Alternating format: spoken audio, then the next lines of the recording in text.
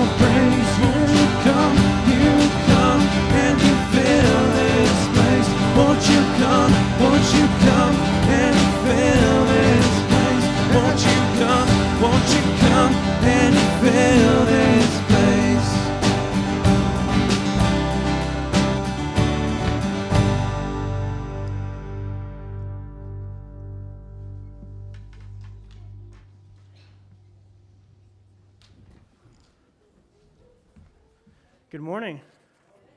Welcome. Good to see each of you here this morning.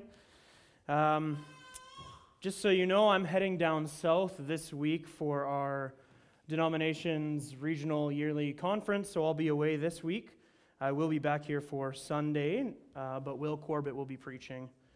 There's no men's breakfast this Saturday, but we'll resume again after that.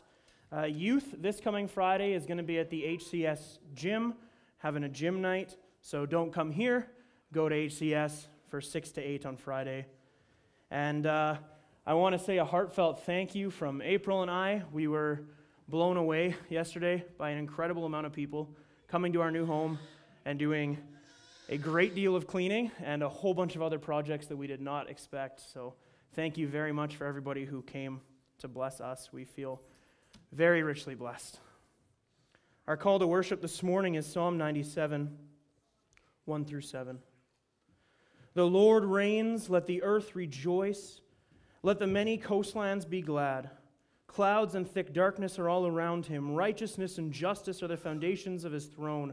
Fire goes before him and burns up his adversaries all around. His lightnings light up the world. The earth sees and trembles. The mountains melt like wax before the Lord, before the Lord of all the earth. The heavens proclaim his righteousness, and all the peoples see his glory. All worshippers of images are put to shame, who make their boast in worthless idols. Worship him, all you gods. Let's pray. Heavenly Father, thank you for this morning, for this opportunity to gather here together to praise and worship you and to lift our voices to our glorious God. Lord, I pray that you would be with us in this service, that it would be a sweet and fragrant offering to you, and we commend it into your hands. Thank you for this great blessing. In Jesus' name, amen.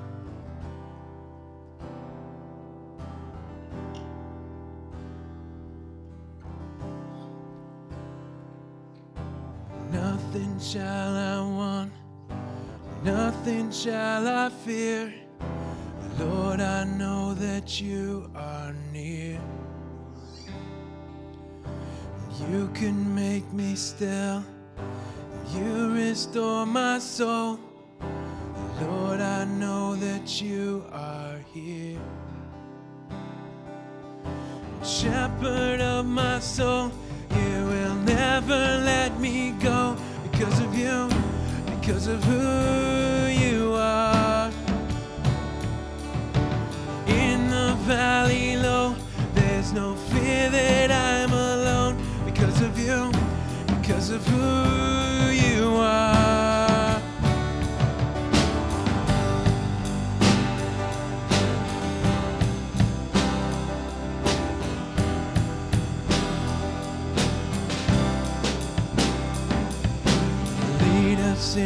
the of your righteousness for the sake of your great name. You prepare a place where I'm forever safe. Mercy finds me all my days. Shepherd of my soul,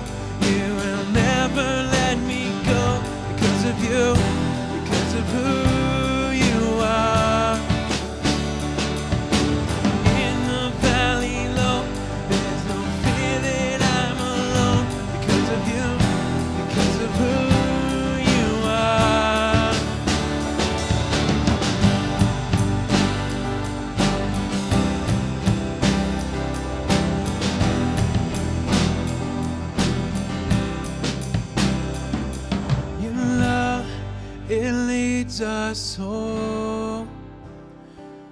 Your love, it leads us home. Your love, it leads us home. Jesus, your love, it leads us home. Your love, it leads us home.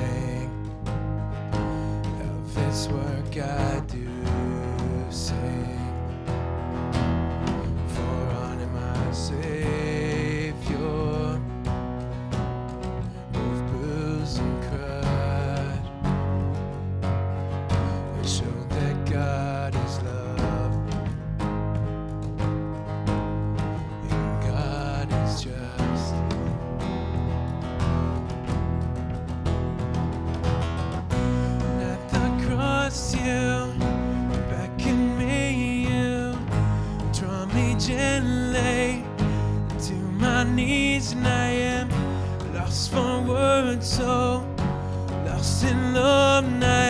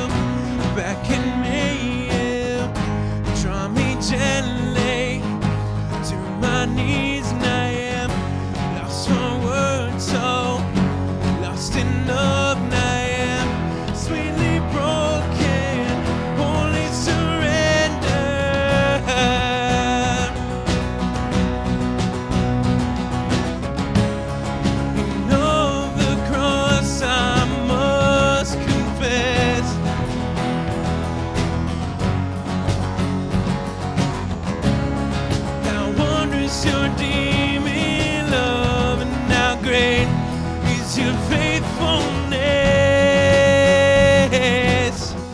And at the cross you beckon me,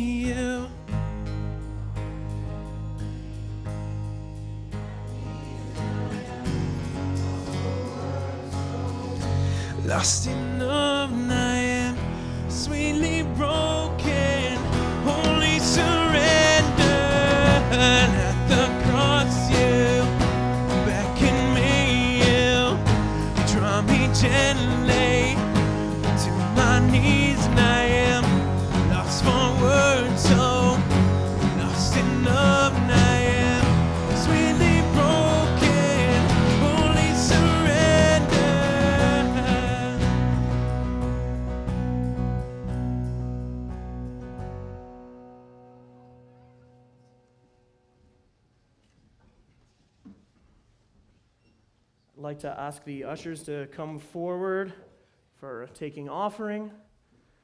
Uh, as you'll notice, there's a number of people not here this morning. Uh, there's quite a few families that are traveling, and apparently there is a large number of people who are sick. So we can definitely be remembering to pray for them. And uh, let's pray for this offering. Heavenly Father, thank you for all the gifts from your hands. Lord, we acknowledge that everything we have is from you and belongs to you. And Lord, as we give sacrificially, as we give joyfully with cheerful hearts to your work, I pray that you would bless these finances, that you would use them to build your kingdom and to glorify you. Work in our hearts and lives, we pray, and in this church, and be with all those who are away, who are sick and traveling, that they would regain health and that they would travel safely and come back here to us, we pray. In Jesus' name, amen. Uh, children aged three to seven can head downstairs as well.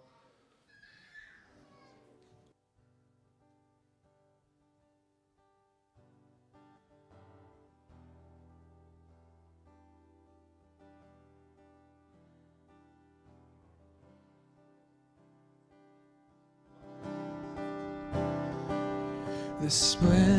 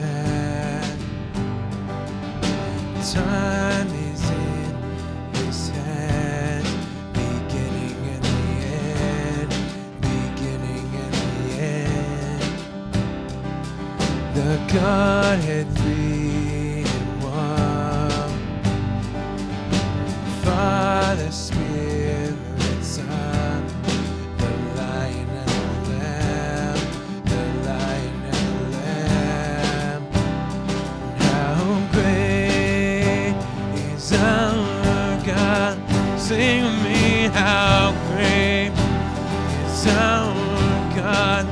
Don't see how great,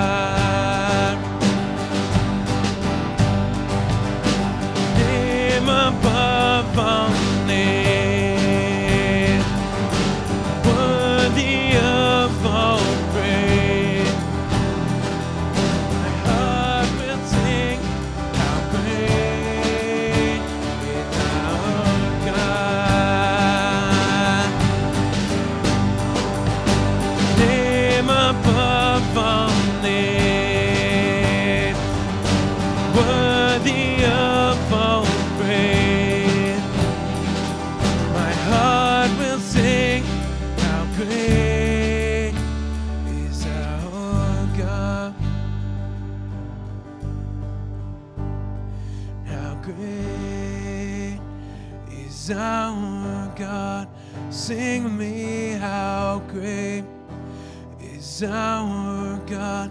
And don't see how great, how great is our God. How great is our God? Sing with me, how great is our God? And don't see how great, great is our God.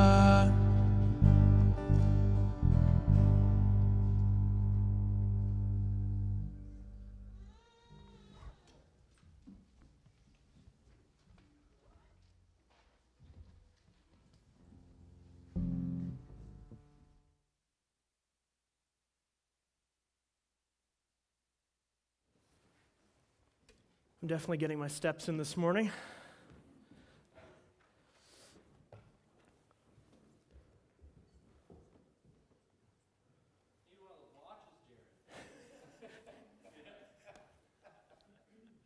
This is just a giant clock. So, today we're concluding our series, Who is This God? Not because we've examined every name, character, and attribute of God, but because all good things must come to an end eventually. And because we would never be able to comprehensively examine all of who God is. My hope is that as we have gone through the previous 19 messages in this series, you have been stirred and captivated by our amazing God.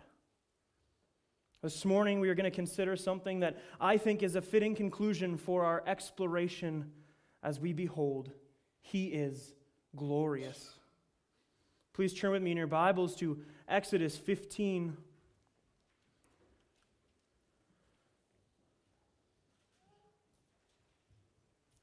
We'll be looking at verse 11. Exodus 15, 11. Who is like you, O Lord, among the gods? Who is like you, majestic in holiness, awesome in glorious deeds, doing wonders? Let's pray. Lord, this morning I ask that you would remove distractions from us, that you would settle any anxieties that we have, that you would take away the weight of the burdens of this life, and that we would be able to look to you and be mesmerized and captured by who you are, Lord, speak through me and use me to, to deliver your message to us, that our hearts would be stirred. Lord, that your work would be done in this place and prepare our hearts, our ears for this message, we ask in your precious name. Amen.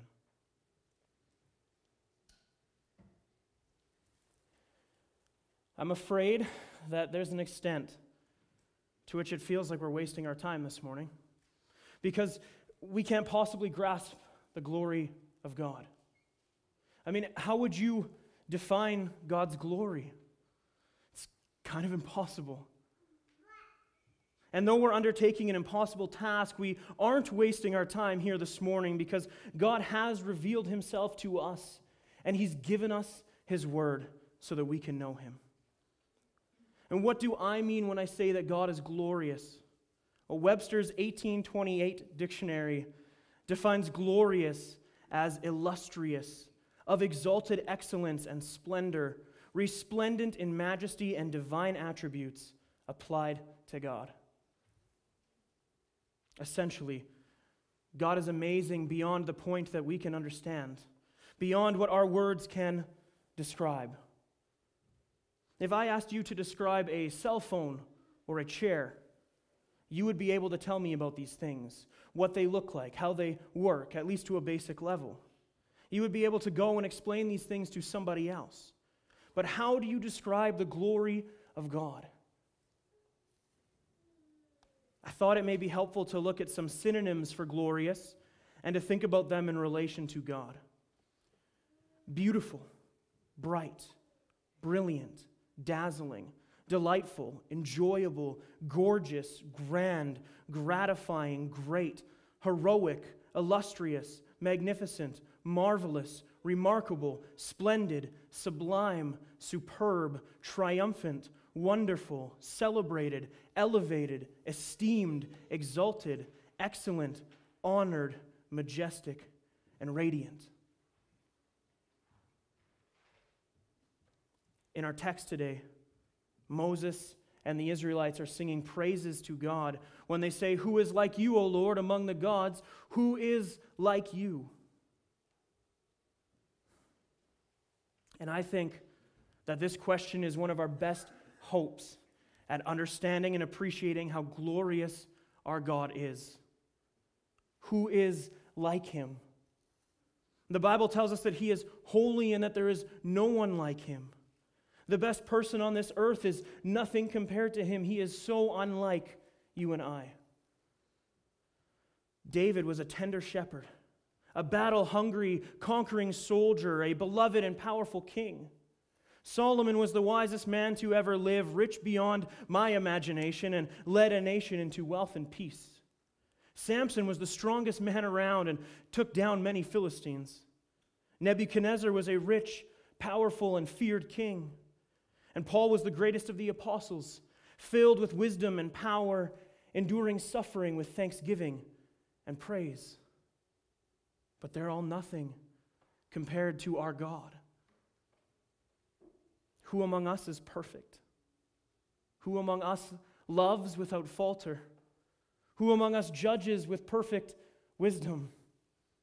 Who among us lives in sinless perfection?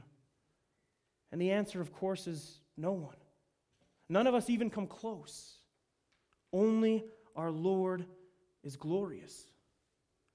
And as we've previously examined in this series, He is faithful, holy, holy, holy humble, immutable, incarnational, limitless, merciful, and gracious, our Father, our hope, our keeper, our shepherd, patient, risen, sovereign, the avenger, the creator, the healer, and the judge. And beyond these things, he is so much more. As Isaiah 6 3 says, Holy, holy, holy is the Lord of hosts. The whole earth is full of his glory. The whole earth is full of his glory. The earth is shouting and declaring the glory of God to us. Can you see it? Can you hear it? Psalm 19:1 says, "The heavens declare the glory of God, and the sky above proclaims his handiwork." The earth declares, the sky and the heavens declare, the sun, the moon, and the stars proclaim his glory. The mountains, the valleys, and the oceans declare his glory. And that's why Romans 1:20 says, "For since the creation of the world, God's invisible qualities, his eternal power and divine nature have been clearly seen, being understood from what has been made, so that people are without excuse." Do you hear it? Do you see it? Maybe you're listening to this message today and you don't think that God is very glorious. Maybe you're angry with Him, and maybe you don't believe He's real. And I don't know what you think about God, but, but I know who He is. And He is glorious, and He's worthy of all our praise. Sometimes it doesn't feel like that's true. Sometimes the difficulties and the sorrows of this life are overwhelming. Oftentimes, we can't understand how God could possibly allow something to happen that could cause us so much grief and pain. But the problem always comes back to understanding who He is and what He's doing. Why are we upset? Because we don't understand. Why are we angry? Because we don't truly know Him and His perfect plans. We forget. Our pain overwhelms us. Our anger needs to be directed somewhere, and who better than God? Or so we seem to think. But what's the solution? We have to know Him. We need to know His character and His attributes. We have to know about His wisdom and His plans and His promises. But beyond just knowing truths about Him, we have to personally know Him relationally. And even this speaks towards his glory. That the Lord of all creation would not only allow people like you and I to have a relationship with him, but that he desires that relationship and that he's done everything to make it possible.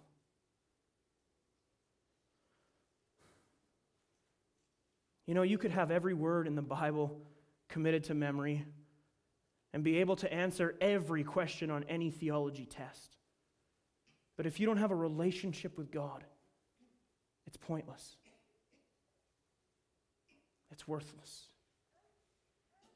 But as we get to know Him and as we learn more about Him and we grow in our love for Him, we start to catch just glimpses of how truly glorious He is. And then we start to say things like Psalm 145 3 Great is the Lord and greatly to be praised. His greatness is unsearchable. And this is what we've been doing in this series.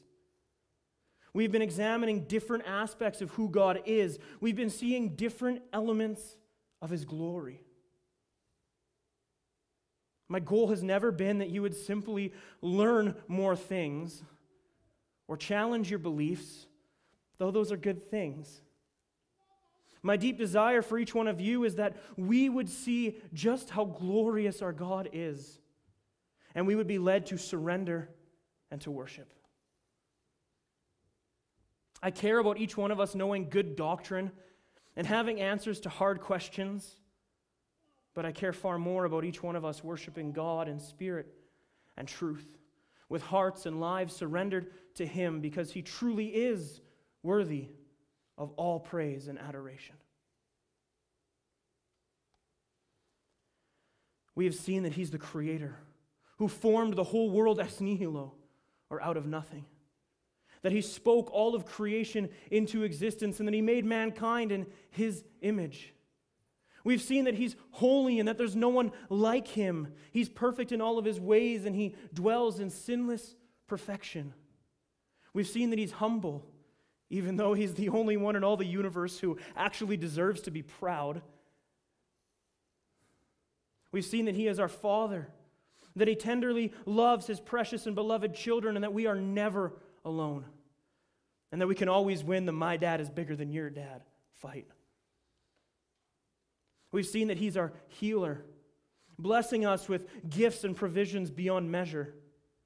We've seen that He's limitless and we can trust Him to do all that He has promised to do because He is all powerful, all knowing, and all present. And we've seen that He is faithful. That no matter how faithless we are, no matter how far we run from Him, no matter how many times we turn our backs on Him, He's always there with open arms, beckoning us to return to His forgiveness and love. And we've seen so much more than this, and there is so much more to be seen.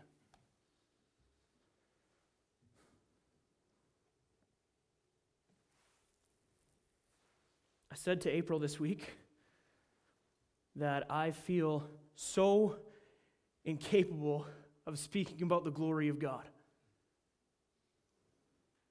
How can I do it? How can I communicate anything worthwhile to these people?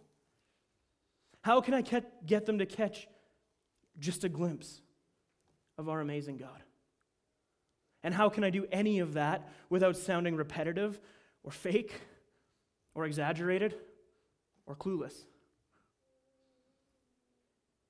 I can't. And this is where we get to see even more of our glorious God.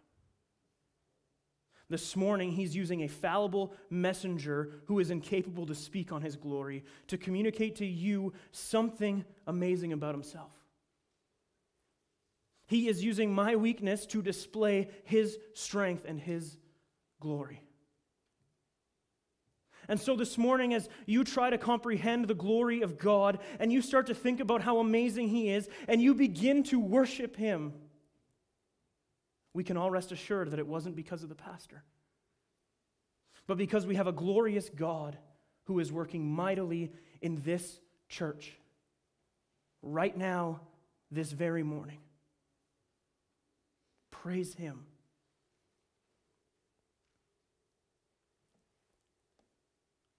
In our text in Exodus 15.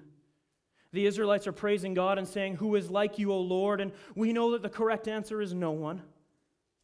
And when our minds and our feelings run wild, telling us otherwise, we need to get them under control and declare this truth there is none like you, O Lord.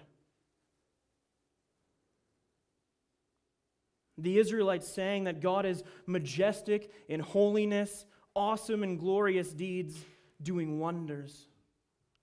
Why? Well, because he had just saved them.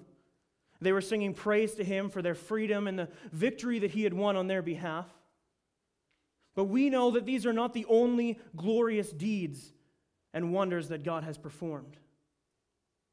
Our Lord healed the sick, cast out demons, raised the dead, conquered nations, won battles, established and removed kings and nations, cleansed lepers, gave a widow unending flour and oil, turned water into wine, protected three faithful men in a fiery furnace, spared Noah's family in the ark, sent plagues upon Egypt and removed plagues from Israel, sent manna from heaven, fed thousands with five loaves and two fish. And the list goes on and on. But the most significant expression of his glorious presence in this earth is the salvation of mankind. How can we not be mesmerized by God's glory when we think about what He has done for us? To give Himself up for a people who hated Him. We just went through the Easter season where we specifically remember the horrific torture and suffering of Jesus before His excruciating and humiliating execution. I don't know if there's anyone listening who doesn't truly know God. You may have prayed a prayer at one point in time in your life. You may have had someone get you to repeat words after them, or you may not have had any interest in God at all before today. I don't know. But what I do know is that you need the same thing that we all need Jesus Christ. Paul says some serious words to the church at Corinth. In 2 Corinthians 13 5, examine yourselves to see whether you are in the faith. Test yourselves. Or do you not realize this about yourselves that Jesus Christ is in you, unless indeed you fail to meet the test? Going to church doesn't mean you're saved. Praying a prayer and repeating some words doesn't mean you're saved. Having Christian parents doesn't mean that you're saved, and you can never do enough good works to earn salvation. The Bible says that all who call upon the name of the Lord will be saved. God calls you to repent of your sin, to confess it to Him, and to run from it, and to believe in the Lord Jesus Christ to be saved. This is our only hope. But praise God that it is a perfect and secure hope. This is our glorious God, the one who would suffer and die to save us, the one who adopts us as precious and beloved children, the one who fills us with the Holy Spirit so that we could have new life and live in victory and power.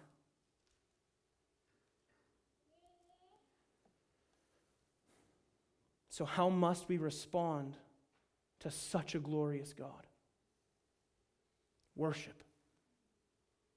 God calls us to worship Him, to praise His holy name. And we do this with singing, of course, but we also worship with our money, our words, our actions, and everything that we do. Our lives are to be lives of worship because He deserves all honor, glory, and praise. So I have a question for you. Are you playing church today? Are you playing Christian today? Are you just here because it's a nice thing to do or you're supposed to be here? Are you singing along because it's normal and you're trying to fit in? When the pastor is preaching or praying or you're singing to God, are you thinking about the troubles of your life, the time left on the clock, the people in the building with you, or the food that you have at home in the oven? What are we doing? Do we believe that God is glorious? It's no wonder that we struggle so much to worship God through the week when the one short period of time that we commit to corporate worship is being clouded and overshadowed by pretty much everything in life other than God. Isaiah 42 8 says, I am the Lord, that is my name. My glory I give to no other, nor my praise to carved idols. Is your time an idol? If that's your concern during worship, I think so. What about your food? Your opinions of others? Your opinions of self? Are you looking for gossip ammunition on Sunday morning or for opportunities to serve? God isn't looking for lip service, He's looking for surrender. He isn't looking for the right appearance, he's looking for the right heart. What are we doing here? Romans 11:36 says, "For from him and through him and to him are all things. To him be glory forever." Amen. He is glorious and he is worthy Stop letting idols steal his glory. Stop letting these things distract you from praising our God. Psalm 71 8 says, My mouth is filled with your praise and with your glory all the day. Let this be true of us. My mouth is filled with your praise and with your glory all the day. But how?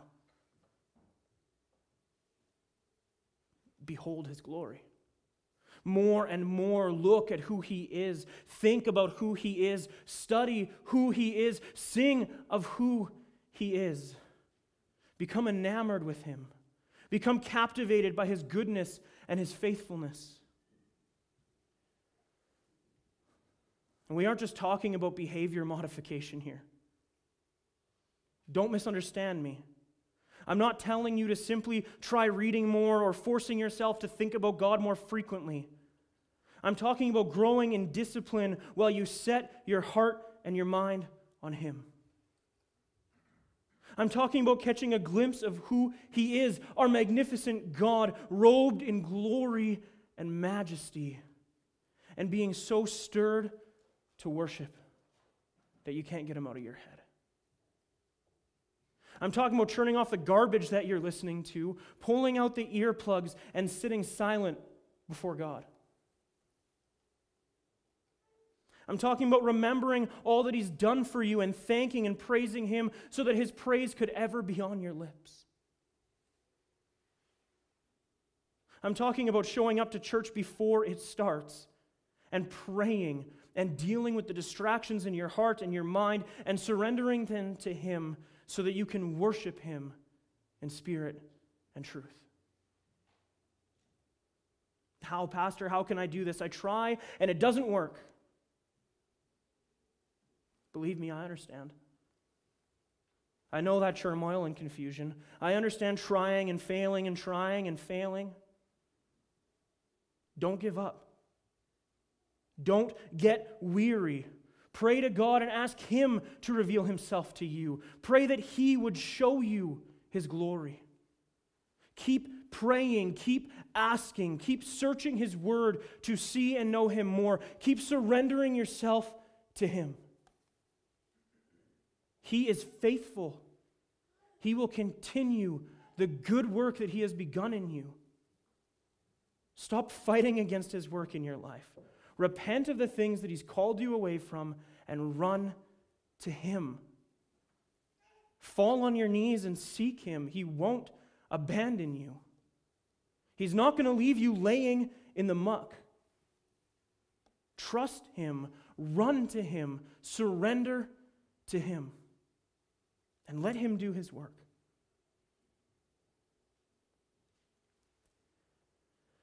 Dear people, there is no one like our God. He is majestic in holiness, awesome in glorious deeds, and he does many great wonders. Don't allow the idols and the distractions of this life to pull you away from him. Don't let them rob God of his glory and the praise that he deserves. Don't play church. Don't play Christian. The whole earth is full of his glory. The sun, the moon, and the stars proclaim his glory. The mountains, the valleys, and the oceans declare his glory. Are your eyes and ears open? Can you see it? Can you hear it? Houston Baptist Church, let us be a faithful people who know their God intellectually and relationally. We must know our God. Cast your eyes on Him. Remember His words and His works. Remember His great faithfulness and be captivated because He is glorious. Let's pray. Glorious God. We come before you this morning in awe of you, in all of your majesty and your glorious deeds and your many mighty works, in all of the salvation that you bought for us, in all of the relationship that you have given to us, in all of your word that you've given to us and the way that you've revealed yourself and prayer that you've given as a gift to us to have relation with you. Lord, it's all you. You've done it all. You continue to do it all. God, help us this morning. Get the lesson through our minds that it's not about trying harder and working harder, it's about surrendering more to you and being captivated by you, Lord, that you would be the apple of the, our eye that in our weakness and our strength, we wouldn't get low self and depressed and exhausted. We would just surrender. That in our anxiety and our panic, we wouldn't get flustered and run to every aid, but that we would just surrender. Make us people of praise, people who remember and thank you, and lift your name high and sing of your wondrous deeds. Draw our hearts, draw our eyes. Lord, your creation sings of your glory. We're surrounded by it. We're surrounded by mountains and waterfalls and lakes and rivers. What great beauty we have here, and it all screams your glory. Open our ears, open our eyes. Let us behold you. Lord, work in us, your people, I pray, for your glory, by your power, in your strength. We surrender. By the precious work of Jesus Christ, our Lord and our Savior. Amen.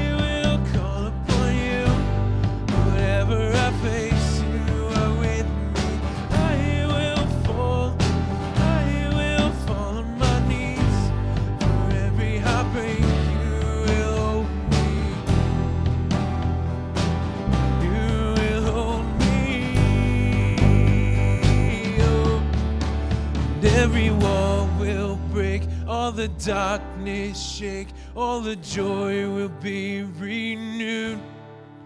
So every knee let's bow, raise a victory shout, for the King will make things new. And every mountain move, every lie be loose, for your banner we're lifting high. Neither depth nor height, nor any life could ever love aside.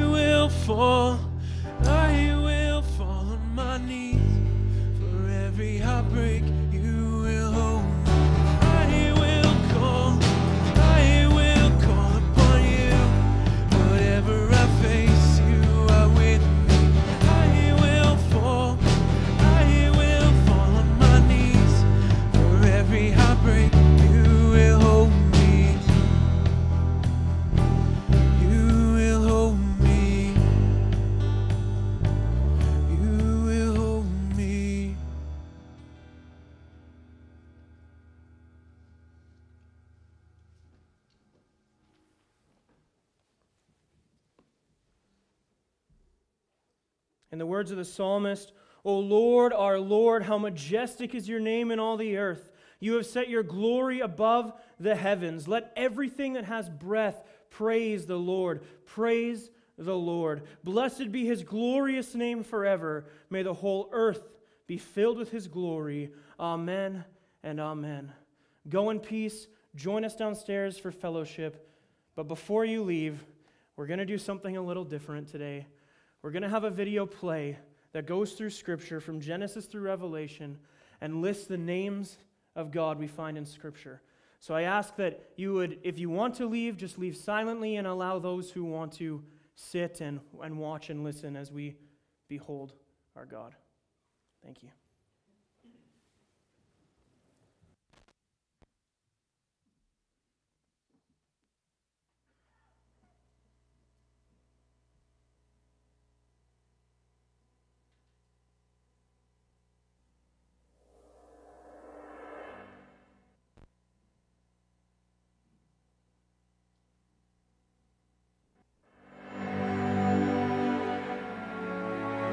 God's nature never changes. He is and he will always be. He is who he is. That's what his name Jehovah even means. Means I am. Yahweh means he is. He's God. But without faith, it is impossible to please him.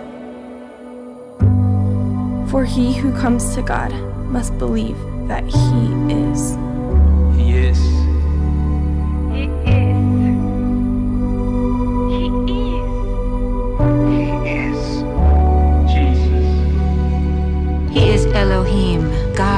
Judge, Creator. Yahweh, Lord Jehovah. El Elyon, the Most High God. Adonai, Lord, Master. El Shaddai, Lord God Almighty.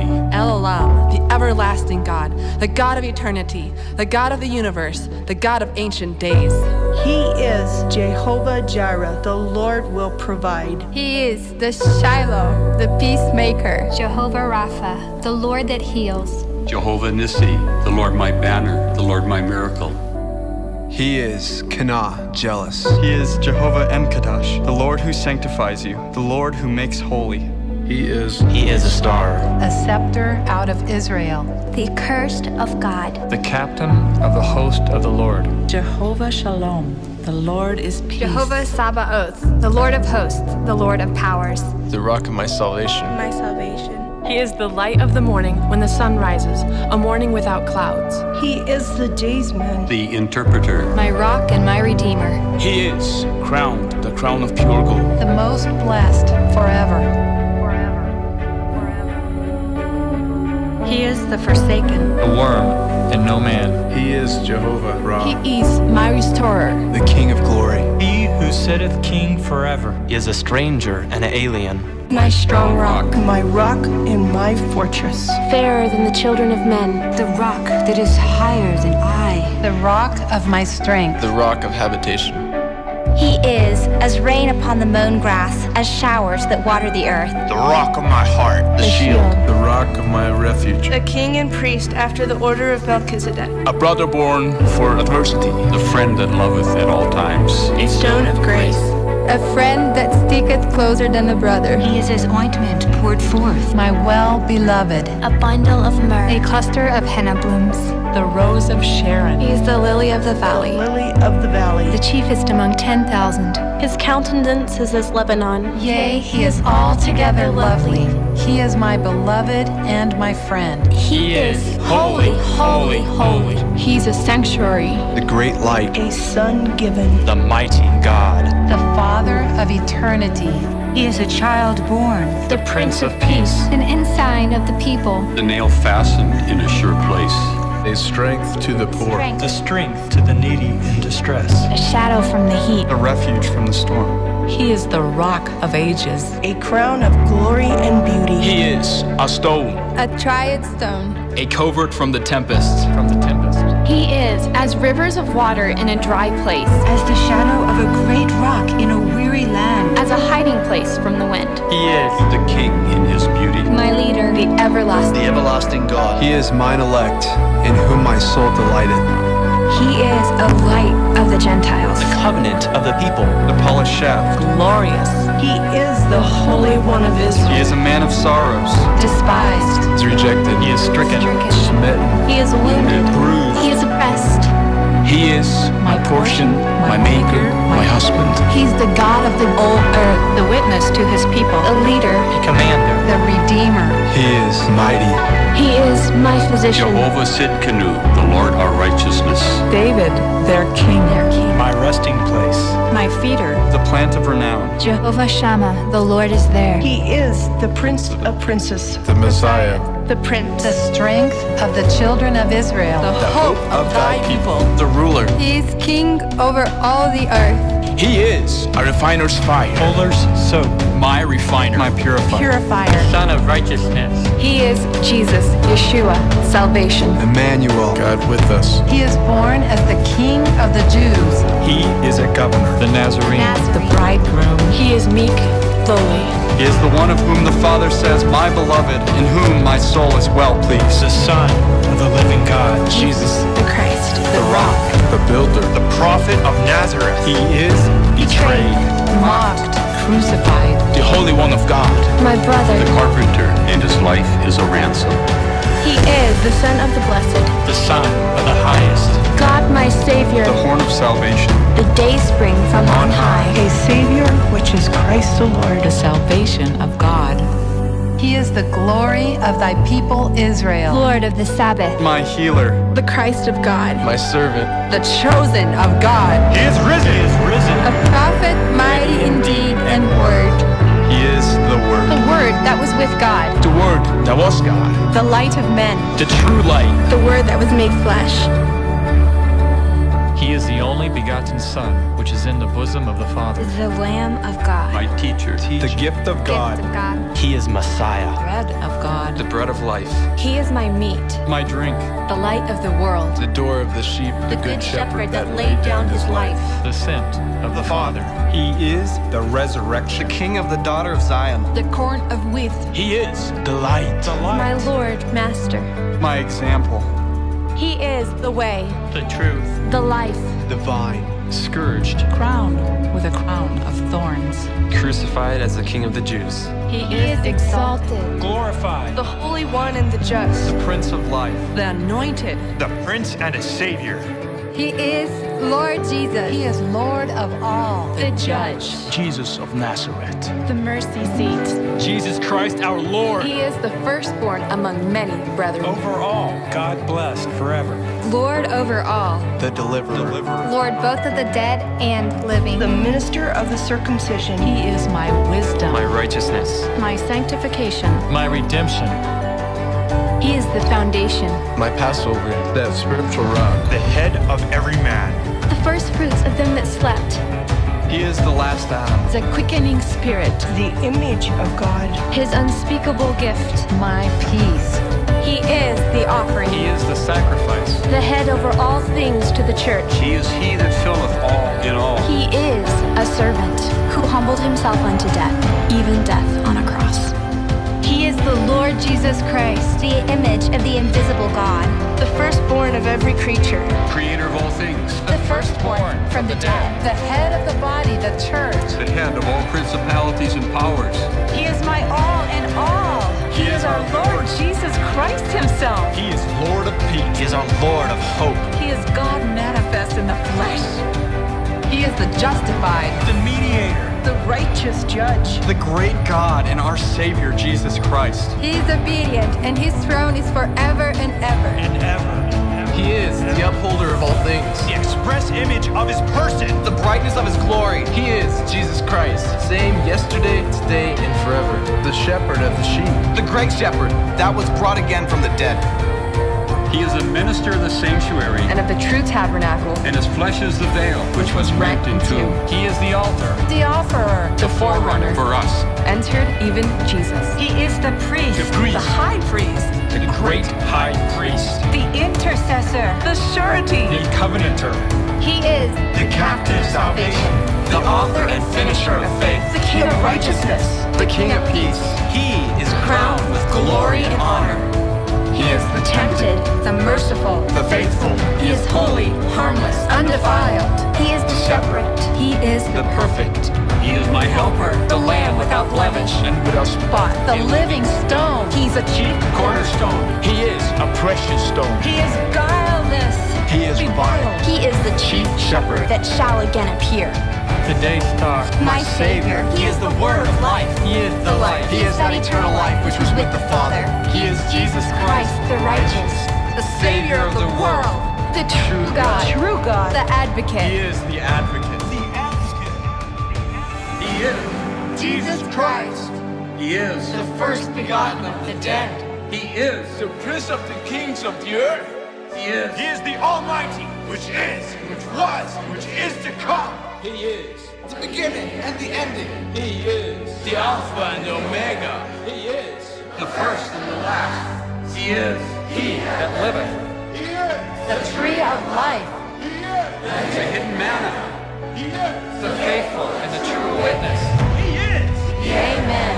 He is The beginning of the creation of God. He is The lion Judah, You.